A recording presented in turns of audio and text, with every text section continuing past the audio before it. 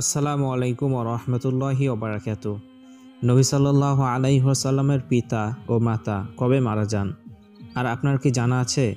হাজারে আসওয়াদ পাথর যেটাকে হাজিরা চুম্বন করে থাকে, সেটা আগে কোথায় ছিল এবং এখন কোথায় আছে? কেন তার স্থান পরিবর্তন করা হয়েছে?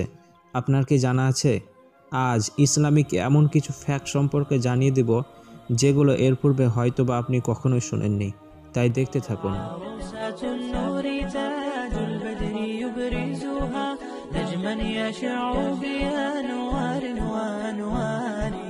ফ্যাক্ট নাম্বার ওয়ান নবী সাল্লাহ আলাইহাসাল্লাম বলেছেন দুনিয়া মমিনদের জন্য জেলখানা আর কাফেরদের জন্য বেহেস্ত সহি মুসলিম।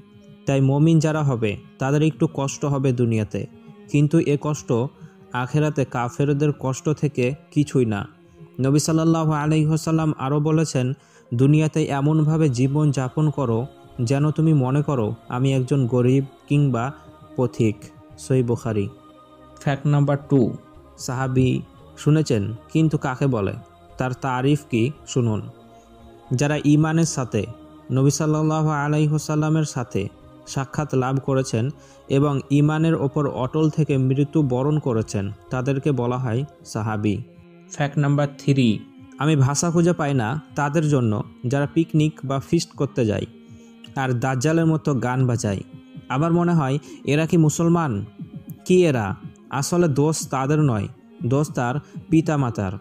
ইসলামের শিক্ষা তো নেই, কিন্তু মানবতার শিক্ষা তো থাকা দরকার। হিন্দুরা যত না এখন পিকনিক ফিস্ট এই সব ছোট লোকের কাজ করছে, তার থেকে বেশি এই ছোট লোকের কাজে লিপ্ত হয়ে আছে মুসলমানরা। কান খুলে শুনে নিন। আপনি যদি কোনো পাপ করেন আর সেই পাপের জন্য কাউকে সাহায্য করেন, তাহলে আপনার সেই পাপ ফিফটি পারসেন্ট আপনার খাতায় জমা হবে। যদি আপনি নিজে হেডফোনে একটি গান শুনছেন, তাতে যদি আপনার একটি গুণা হয়, সেই গানটি আপনি ফিস্টে গিয়ে শুনছেন এবং একশো জনকে শোনাচ্ছেন, তাহলে আপনার একশোটি পাপ হবে, বরং এর থেকেও বেশি হবে। কারণ আপনার গান বাজনা শুনে অনেক ইমানওয়ালা মানুষ কষ্ট পাচ্ছে। তার কারণে এক্সট্রা পাপ আপনি পাবেন এবং এই পাপের সাক্ষীও থেকে যাচ্ছে। তারা কিয়ামতের দিন আপনার পাপের জন্য সাক্ষী দেবে। তখন আপনি বাঁচতে পারবেন না। তাই এইভাবে ফিস্ট বা যে কোনো উৎসবে গান বাজনা করবেন না। আমার কথা হচ্ছে, পাপ করতে সাহায্য করব না এবং পাপ হয়ে গেলে কাউকে সাক্ষী রাখব না। ফ্যাক্ট নাম্বার ফোর ঈসা আলাইহি সালাতাম এমন এক নবী ছিলেন, যিনি কোনো পিতা ছাড়াই মায়ের গর্ভে এসেছিলেন, আল্লাহর একটি ক্ষমতা। তিনি কি না করতে পারেন? আলহামদুলিল্লাহ। ফ্যাক্ট নাম্বার ফাইভ রমাজানের শেষ দশকের রাতে যে কোনো বিজর রাতে লাইলাতুল কদর হয়ে থাকে, জানেন তো? পিকনিকের মতন খাওয়া দাওয়া করে গল্প গুজব ও জালসা শুনে রাত জাগা হয় অনেক স্থানে, তাই না? তবে যাই হোক, লাইলাতুল কদরের ফজিলত হচ্ছে এক রাতের এবাদত, এক হাজার মাস এবাদতের চাইতে উত্তম। তাই এ রাত এবাদতের জন্য, এবাদত শিক্ষার জন্য নয়, শিক্ষার জন্য সারা বছর পড়ে আছে।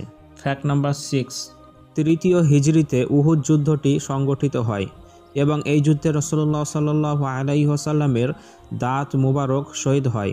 আর এই উহুদ যুদ্ধে মুসলমানদের সৈন্য ছিল সাতশো জন। আর কাফেরদের সৈন্য ছিল তিন হাজার জন। এবং এই যুদ্ধে মুসলমান শহীদ হন সত্তর জন। খুব সংক্ষেপে গুরুত্বপূর্ণ বিষয়গুলো জানালাম, মনে রাখবেন। ফ্যাক্ট নাম্বার সেভেন হাজারে আসোয়াদ পাথর যেটাকে হাজিরা চুম্বন দিয়ে থাকে, সেটা পবিত্র কাবা ঘরের দক্ষিণ পূর্ব কোণের দেওয়ালে গাঁথা অবস্থায় রক্ষিত আছে। অনেক আগে এটা কাবার সাথে লাগা ছিল না, বাইরে ছিল। ফ্যাক্ট নাম্বার এইট নবী ইউনুস আলাইহি সালাতামকে মাছে খেয়ে নিয়েছিল, জানেন তো? এবং দোয়া করার পর আল্লাহ তাকে মুক্তি দিয়েছেন। আল্লাহ চাইলে কি না হয়, মাছের পেটেও মানুষ বেঁচে থাকতে পারে, তাই না? ফ্যাক্ট নাম্বার নাইন, নবী সাল্লাহ আলাইসাল্লামের জন্মের পূর্বে তিনার পিতা মারা যান এবং তিনার বয়স যখন ছয় বছর, তখন তিনার মাতা মারা যান। ইন্না লিল্লাহি ওয়া ইন্না ইলাইহি রাজিউন। ফ্যাক্ট নাম্বার টেন একটি গুরুত্বপূর্ণ হাদিস মন দিয়ে শুনবেন। ওসমান ইবনে আফফান রাজিয়াল্লাহ তালা আনহু থেকে বর্ণিত। তিনি বলেন রসুল্লাহ সাল্লাহ আলাই হাসাল্লাম বলেছেন, তোমাদের মধ্যে সর্বশ্রেষ্ঠ ব্যক্তি সেই যে নিজে কোরআন শিখে এবং অপরকে শিক্ষা দেয়। সই বুখারি।